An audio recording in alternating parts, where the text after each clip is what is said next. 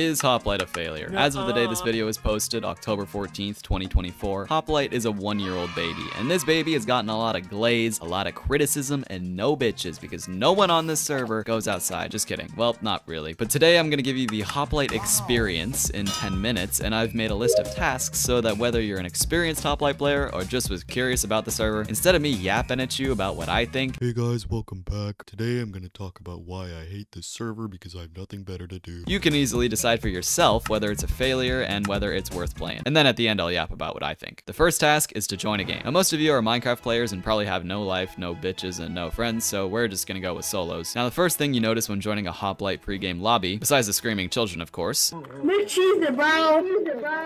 Join, join the VC. Join the VC. I I added you to one. I like kids. There's a couple things in your hotbar, a pickaxe and a book. With the pickaxe, you can choose a class. I won't get into it too much, but you start off with different tools or weapons at the beginning of the game, and it can play to more specific strategies depending on what you choose. For now, we'll go with the default miner kit. If you open the book, you'll see that there's several pages of custom crafts. Now this tends to be a little overwhelming for new players, but you get a notification in chat when you have the ingredients for something, and if you ever need to reference it, you can just use the book or type slash recipe in chat. When the game starts, you suddenly become Hiccup from How to Train Your Dragon, except you have a parachute instead of falling to your death.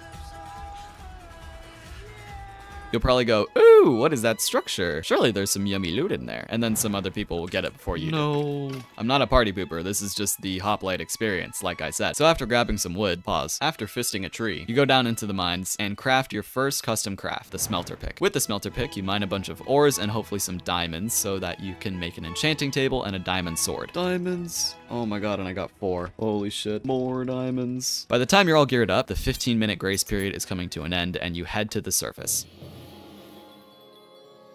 Jesus. In an alternate timeline, instead of spending all your time in the cave, you rush the nether. But for probably 90% of you guys, you're not that guy, pal. You just can't beat the sweats that play every day and make it in the nether in the first two minutes. So back to reality, you head to the surface and you pray you find someone that fulfills two qualifications. They're poor and they're washed. But instead, you find the best player in the game instantly, and you just get absolutely sauced up. Or you get third-partied, arguably more annoying than the sweat. Game sense in this game is huge, and it can take some time to develop, which can be pretty frustrating when you're still learning because you just you just get cleaned a lot. I mean, take it from me. I have over three days of playtime on this server, and I'm still ass. In my defense, though, I feel like I'm pretty average on Hoplite. Not the worst, but nowhere near close to the best. So I think my experience is a pretty accurate representation of the average player's experience. At this point, maybe you've played a couple games and have just gotten absolutely bent over, clapped up, and destroyed, so you take a break to wander around the lobby. You discover this cool looking hallway with all these shiny legendary weapons, and actually pretty interesting, not too difficult parkour course, and at the center of the lobby, you see the NPCs. I won't bore you with the specifics, so I'll make this quick. On the left is the coin shop, where you can upgrade any of the six classes, a token shop, where you can use tokens you get from the battle pass to purchase cosmetics, Dingle's Deliveries, which, fun fact, is a guy in some of SpeedSilver's, the owner's, Battle Royale videos, Yo, Dingle, Dingle. Get up here, Dingo. and on Hoplite, he gives you some free stuff every day, week, and month. Yay, I love free stuff. You know what else is free? Click on the subscribe button. Thanks, guys. Thank you, Winton. There's also the mystery crates, where you can get a free random cosmetic themed to the latest update. I actually got my little pet, Winton the Warden, back when the theme was about the deep dark and all skulky, so shout out Winton. Oh yeah, then there's Hoplite Statspot. He's just always there for some reason. Why is he there? What do you want? What do you want? And after discovering all this, you've forgotten the painful sting of losing in Minecraft PvP, so you decide, ooh, what's this other game mode they have? Welcome to Hoplite Duels, formerly known as Hell. If you've ever had the urge to get good at PvP, you've probably logged on to another server, PvP Legacy, where you can fight people in an arena and customize kits. This is basically just that, except there's also a competitive game mode. But why was it known as Hell, Napa? I'm so glad you asked, Winton. You see, back in June, the 2v2 game mode was a 5v5 game mode, where the top players in the queue would choose teammates like elementary school dodgeball, and apparently everyone hated it because if you lose a teammate, then it's just over for you. It's just not fun, because it's an outnumbered fight. I personally wouldn't know because I was on vacation, but we're in 2v2s now, and a lot of the top Hoplite streamers play it all the time, so it must be pretty good. I tried it out because I hadn't tried duels this season, but in short, it's a regular battle royale kit, plus you get a random legendary item, and it's best 2 out of 3. You get a rank after 10 games. I placed Iron 4, which is low-key embarrassing, but whatever. Iron 4.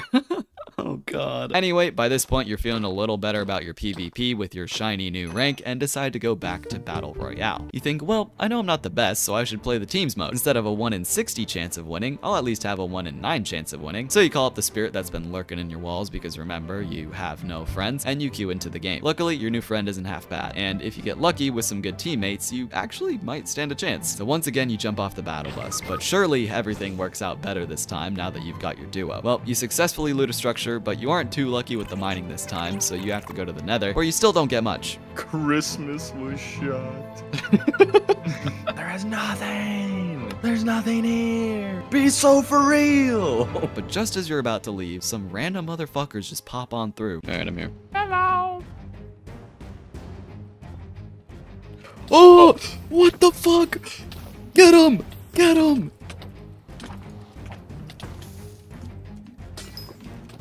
Huge.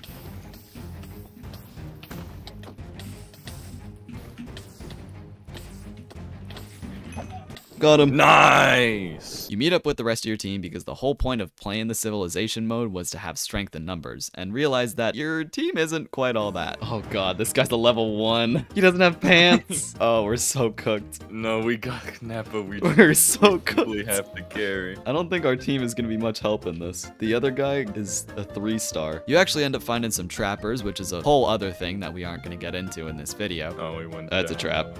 Down. It's 100% a trap. I'm going in. what? Mac. But trappers are smart, and unless you know how their trap works, the smart thing to do is just to dig to them and kill them. Got him. Woo!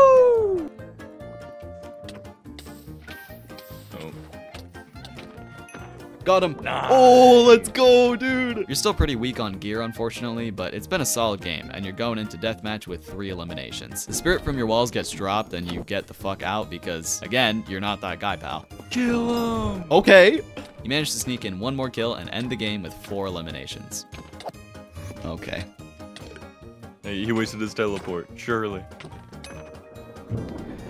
Ah, pretty solid game, not bad at all. But of course, there is a rule that spans across games and across platforms everywhere. You can't end on a loss. CQ one more game. Surely this time you get lucky with mining and looting and get some kills. Found a diamond. Nice. What the? Diamonds. Oh He's my god, so more diamonds. And more diamonds. More diamonds. Holy shit. Dude. Oh, oh my god. oh dude. Goofy, uh. Yo, oh my dude, that's crazy. We had the fucking ice horse and the fucking ravager. I have a diamond sword and and a diamond chest plate. Call me LeBron the way we Avengers assemble because we went on a fucking rampage. I'm notching on you. He's notching? Why is he notching?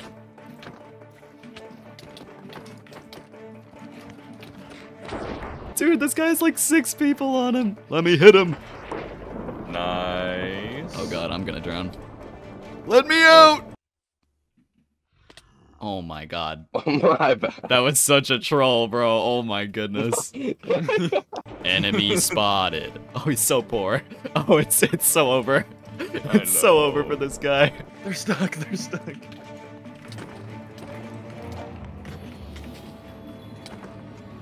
Dude, our team has Wither Sickles, the Horn of Winter, the Ravager thingy, and Excalibur, bro. Dude. Our team is so stacked. Yeah, but this is the game. This is the game! This is the game. With our team having a bunch of legendary weapons and diamond gear, we were absolutely on track to win this game. No one would stand a chance. I'm cooked.